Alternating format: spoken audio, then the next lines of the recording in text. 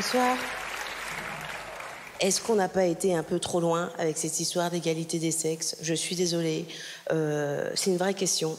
moi, quand je me lamente auprès de mes amis, euh, souvent les gens me disent Mais oui, mais c'est parce que tu leur fais peur, tu vas sur scène, tu es indépendante. Euh, mais ça suffit. Enfin, je est-ce qu'on n'a pas été trop loin véritablement? Parce que parce que quand il s'agit de sexualité, de désir, je pense qu'on quitte le domaine de la raison. On n'est pas dans, on, est dans le reptilien, on est dans l'instinctif, on est dans le, dans le Cro-Magnon. Qu'est-ce qu'elle veut, Madame Cro-Magnon? Madame Cro-Magnon, elle veut un mâle alpha qui va bien garder la caverne. C'est ça qu'elle veut. Et le mâle alpha, c'est pas le mec qui va dans des spas, qui met de la crème, qui fait de la trottinette, qui vapote et qui fait la vaisselle, même quand on ne leur a pas demandé de faire la vaisselle. Je, suis désolée, c'est pas ça. Euh, la vérité, c'est pas ça. La vérité, c'est que la femme désire un homme qu'elle peut potentiellement craindre. C'est ça. Euh, il y a quand même cette idée d'intrusion, de violence euh, dans le rapport hétéro, dans l'essence même du rapport hétéro. Il y, a de la violence et de la, et de la domination. La première fois au lit pour une fille avec un garçon, euh, il s'agit quand même beaucoup pour la fille de se laisser faire quand même. Hein. C'est pas du viol caractérisé, bien sûr, parce que ça se passe étape par étape. Le, garçon fait en sorte que la fille n'ait pas l'impression que, tout ça se passe sans son consentement. Hein. C'est la technique du pied dans la porte, hein, un petit peu. Enfin, du doigt dans la chatte, en l'occurrence. mais, euh, mais, il y a cette idée de violence, d'intrusion, de, de et, les hommes n'en ont même pas conscience. En plus, c'est même pas. C'est pour ça que c'est pas un terrain de bataille. Les hommes n'ont pas conscience de la violence qui nous inflige dans la sexualité du tout. Les hommes expérimentent des choses, tout simplement. Euh, euh, je pense que le corps des autres est un terrain de jeu pour, l'homme et, il essaye des choses sans penser à mal. C'est pas. C'est comme quand on file un jeu d'éveil à un singe. C'est pareil. On, a tous vu ces images de laboratoire hein, avec le chimpanzé en train de galérer avec un jeu d'éveil comme ça, euh, avec un chercheur qui prend des notes à côté. Vous voyez ces images hein avec le singe qui essaye de mettre le cylindre dans le carré, ça marche pas, dans le triangle, ça marche pas. Et une fois que le singe a repéré que le cylindre rentrait dans le trou rond, il, va répéter cette action. Hein. Il, va répéter cette action, tout simplement.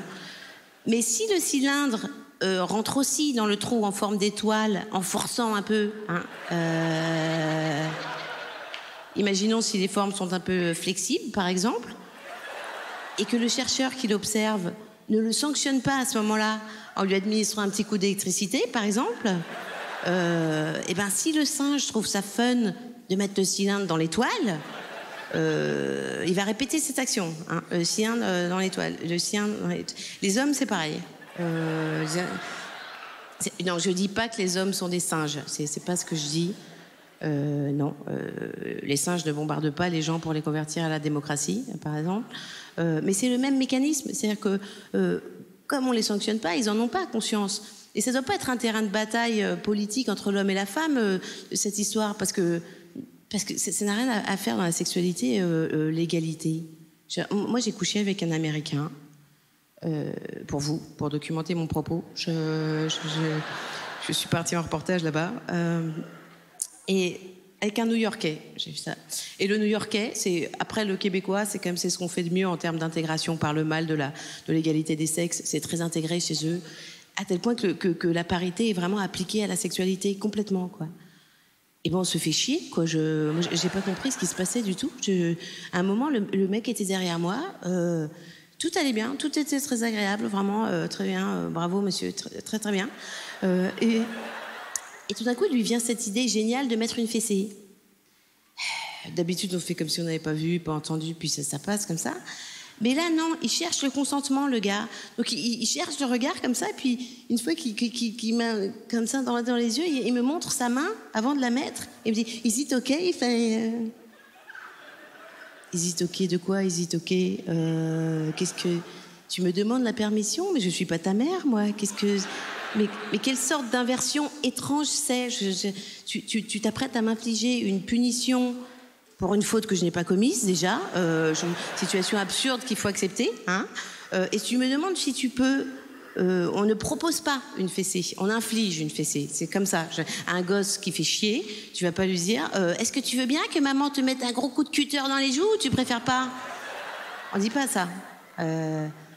Enfin, j'ai pas d'enfant, je sais pas comment on sanctionne les bêtises, mais on, s'est compris. Il faut laisser ces histoires d'égalité en dehors du, lit, c'est important. Je, suis féministe, hein, je suis profondément féministe, attention. Euh, Je dis souvent du mal des fémènes, c'est vrai, mais c'est parce que je suis jalouse, tout simplement.